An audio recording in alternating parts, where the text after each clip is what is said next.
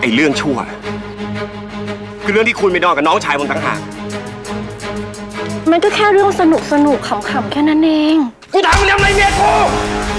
ถามมึงทำอะไรเมียกูนี่คุณเจนจบค่ะ เป็นแขกของวีเอง คุณเอาคนนอกมายุ่งวุ่นวายกับเรื่องในครอบครัวของเรา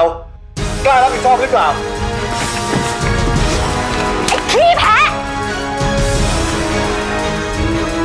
ออนสาบานได้เลยนะคะ ว่าออนกับพี่รูดไม่ได้มีอะไรกันจริงๆอย่างที่พี่วีคิดนะแต่ฉัน